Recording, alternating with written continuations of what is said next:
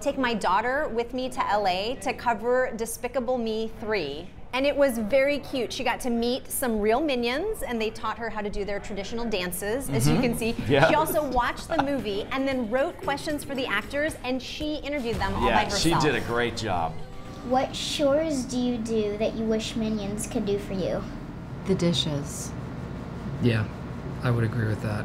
The dishes are the worst, especially dishes that have been left out and are dried. They have like old pieces of macaroni and cheese on them.